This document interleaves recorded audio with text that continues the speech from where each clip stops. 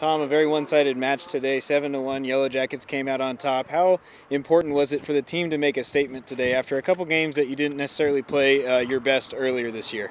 Yeah, it was very, very important. Um, the first two games, um, I don't really know what happened. There was a few, uh, there's a few mistakes going around. Um, we wasn't bringing what we've been doing in practice to those games.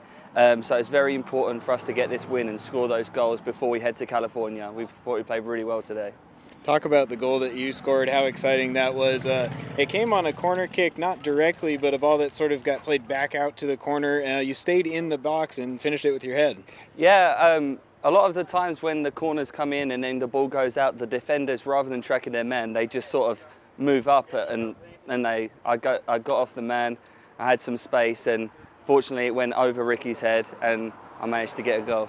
Uh, someone else has to do a little bit of scoring yeah. for the team.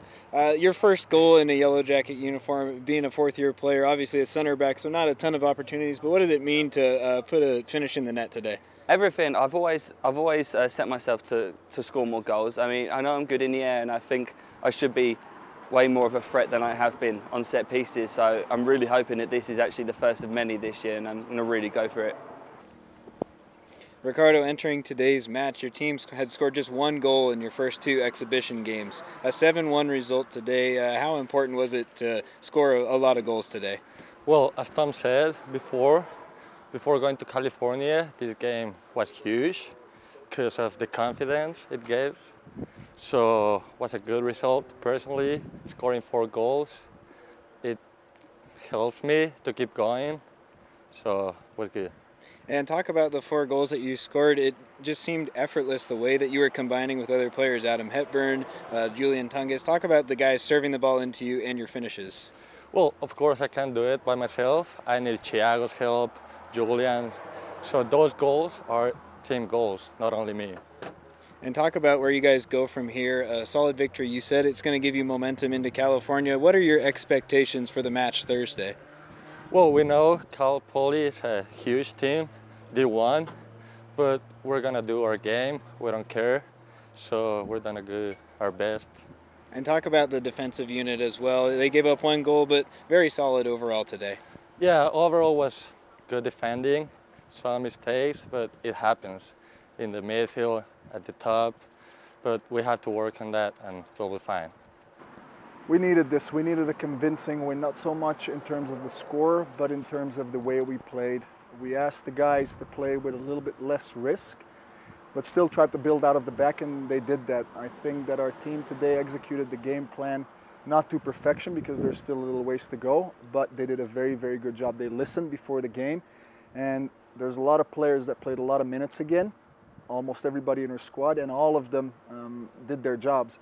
And that's what we asked them to do. Do your job first, and then you can start thinking about the collective. And that's when we that, that's how we grow um, as a team, as a unit. So very happy with the way we played, especially the first 25 minutes. Uh, we put it down, and uh, it was one-two touch. Uh, it was it was good to see. The guys trained really, really hard um, the last couple of days, and that translated itself in a very, very convincing performance and win.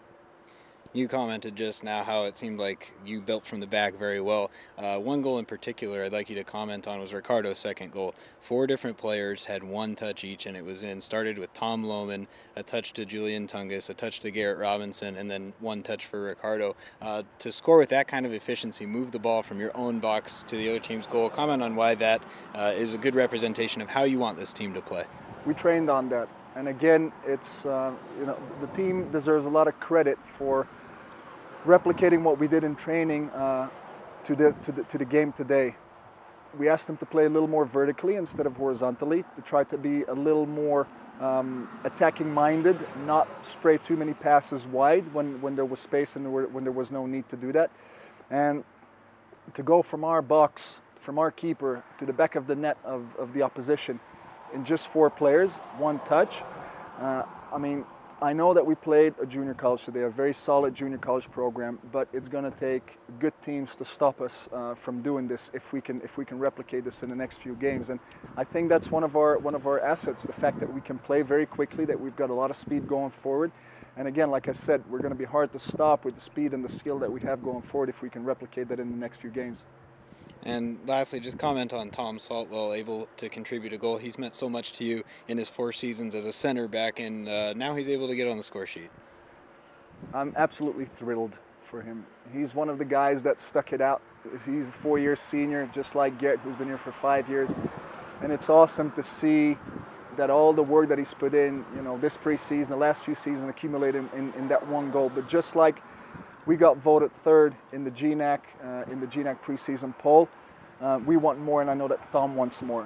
What I'm very, very happy with uh, was the gesture he made after the goal when he kissed um, the sleeve of his jersey, when he kissed the TW, because as, as some people may know, uh, Trevor passed away just over a year ago, so I think that was a very, very fitting gesture, and um, I, I, think that uh, I thank Tom for that.